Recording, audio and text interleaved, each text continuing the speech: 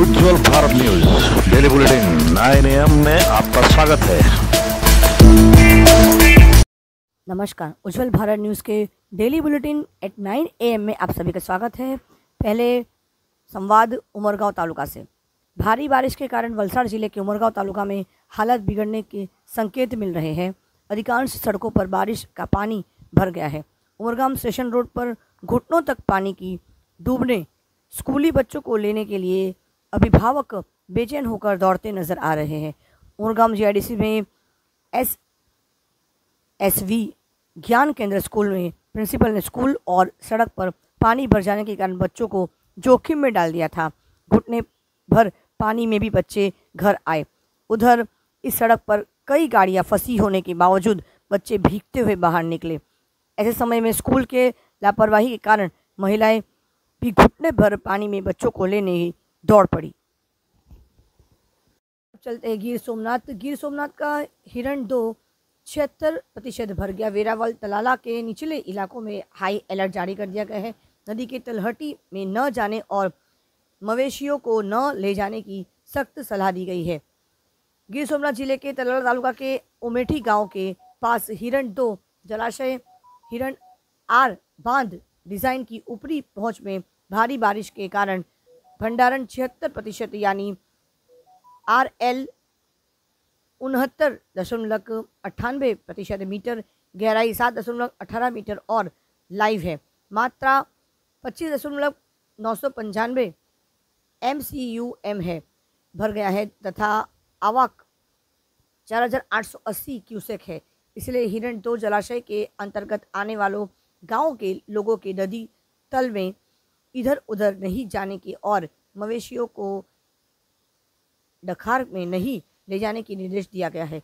बाँध का निर्धारित नियम स्तर सत्तर दशमलव पचहत्तर मीटर बनाए रखने के लिए किसी भी समय गेट खोलने की आवश्यकता होगी। इसीलिए सावधानी बताने बरतने के लिए सलाह दी जाती है।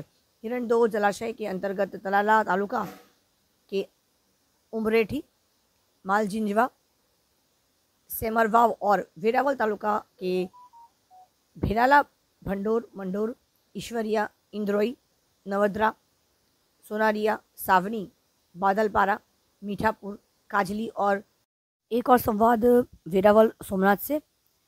जैसे ही बारिश का पानी सोमनाथ बाईपास पर बहता है और यातायात बाधित होता है, पुलिस तुरंत आती है और अनशन दोहराती है। वेरावल शहर ज़िले में कल से लगातार हो रही बारिश के कारण आज सुबह सोमनाथ बाईपास हाईवे पर रेंगडा होटल पर आसोपालव के पास ऊपरी नदी के आने वाला बारिश का पानी फिर से सतह पर आ गया है, जिससे हाईवे पर एक तरफ़ की लेन बंद हो गई। पीआई एमवी पटेल पुलिस के अमले के साथ मौके पर पहुँची और जेसीबी की मदद से हाईवे पर डिवाइडर की रुकावट को हटाकर पानी हटाया गया। जिला पुलिस प्रमुख मनोहर सिंह जाडेजा ने भी राजमार्ग का दौरा किया और आवश्यक निर्देश दिए गए। आइए अब आपको ले चलते सीधे साबरकाठा, गुजरात के साबरकाठा ज़िले में स्वास्थ्य मंत्री ऋषिकेश पटेल ने राज्य में वायरल इन्फेक्शन से संदिग्ध संदिग्ध मामलों का लेकर साबरकाठा ज़िले का दौरा किया। स्वास्थ्य मंत्री ने Himmatnagar G M E R S medical college में वायरल इन्फ्लेलाइटिस के उपचाराधीन बच्चों की मुलाकात की और उनका स्वास्थ्य परीक्षण किया। सरकार वायरल इंसेफेलाइटिस या चांदीपुरा बीमारी की रोकथाम के लिए प्रतिबद्ध है। वायरल इंसेफेलाइटिस और जल जनित बीमारियों से बचाव के लिए एहतियात के तौर पर स्प्रे का छिड़काव करने का सुझाव दिया गया है। बच्चों में बुखार, दस्त, उल्टी के सामान्य लक्षण दिखाई देने पर उन्हें तत्काल उपचार के लिए नज़दीकी अस्पताल ले जाने का सुझाव भी दिया गया। समीक्षा बैठक में विभाग की अधिकारी और डॉक्टर भी शामिल हुए।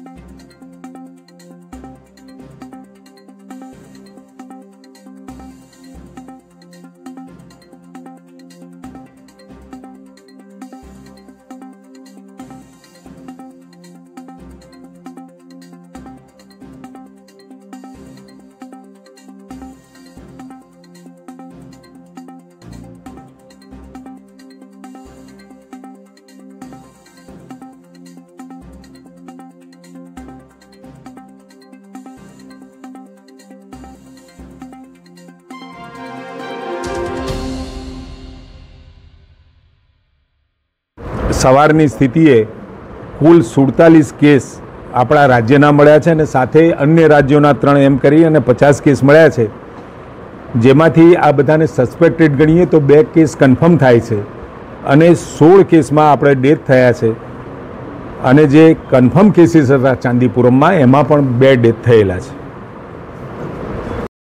માં તો વાયરસ ચેપી હતો અને એ ચેપના કારણે ખૂબ બધો ભયનો માહોલ અને હકીકતમાં ખૂબ પેન્ડેમિક હતું પરંતુ આ જે ચાંદીપુરમ વાયરસની વાત થઈ રહી છે હજુ પણ એમાં ચાંદીપુરમના કારણે જ તમામ ગુજરાતમાં આવતા કેસ સસ્પેક્ટેડ તરીકે આપણે ટ્રીટ કર્યા છે પરંતુ ચાંદીપુરમના કારણે જ થાય એવું નથી એન્સેફેલાઇટિસમાં બીજા કારણોસર પણ આ પ્રકારના અ, તાવ ખેંચ આવવી ઝાડા ઉલટી થવી એવું શક્ય છે આપણા ત્યાં અત્યાર સુધીમાં જે ટોટલ સાત ટેસ્ટ માટે મોકલ્યા હતા. સાતના રિઝલ્ટ આવ્યા છે.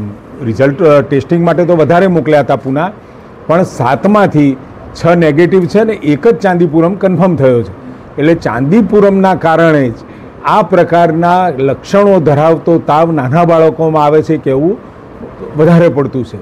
પરંતુ એન્સેફિલાઇટિસમાં તમામ પ્રકારની જે એડવાઇઝરી કે કોમન એડવાઇઝરી જેમ સિમ્ટોમેટિક કોરોનામાં પણ ટ્રીટમેન્ટ થતી હતી એ જ રીતે આમાં પણ સિમ્ટોમેટિક ટ્રીટમેન્ટ આપણે કરવાની રહે છે તાવ હોય ખેંચ છે કે મગજ ઉપર સોજો આવે ઝાડા ઉલટી થાય તો જે પ્રકારના લક્ષણો દેખાય એ પ્રકારની ટ્રીટમેન્ટ આમાં કરવાની રહે છે પીડિયાટ્રિશિયનો અને નિષ્ણાતો સાથે વાત કર્યા પછી એક કોમન પ્રોસિજર ફોલો કરવાનું લગભગ દરેક જગ્યાએ એક સરખી આ મેં કહ્યું તેમ એ સિમ્ટમેટિક સિમ્ટમેટિક ટ્રીટમેન્ટની દરેક જગ્યાએ શરૂઆત પણ થયેલી છે ને એ પ્રમાણે જ અત્યારે સારવાર થઈ રહી છે.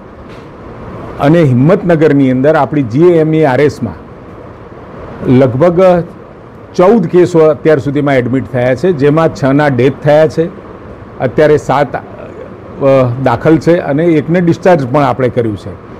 અને આજે મેં જે જોયું એ પ્રમાણે ત્રણ બાળકો સ્ટેબલ છે અને ત્રણ બાળકો પીઆઈસીયુમાં છે. એટલે એકંદરે હવે ગુજરાતની અંદર આની અવેરનેસ સાથે સમગ્ર રાજ્યની અંદર તમામે તમામ ગામોમાં ડસ્ટિંગની સ્પ્રેઇંગની અને કાચા ઘરો છે ત્યાં ખાસ આ ડસ્ટિંગ અને સ્પ્રેઇંગની કામગીરી કરવાના આદેશો આપવામાં આવ્યા છે. સાથે ઉકરડા હોય, આંગણવાડી સ્કૂલ્સ અને આખા રાજ્યની અંદર એક પણ ગામ આપણે એવું બાકી નથી રાખવાના. જેના કારણે કોઈ પણ પ્રકારનો વેક્ટર બોન્ડ ડિસીઝીસ એટલે પાણીજન્ય રોગ એ ના થાય ને એને પ્રિવેન્ટ કરી શકાય, એના માટે ગુજરાતના તમામ ગામોમાં એક મુહિમ ઉપાડવામાં આવી છે. સાબરકાંઠા અને જે ત્રેવીસ તાલુકાઓમાં આપણને જોવા મળ્યું છે, ત્યાં આગળ આપણે પહેલી કામગીરી કરીએ છીએ.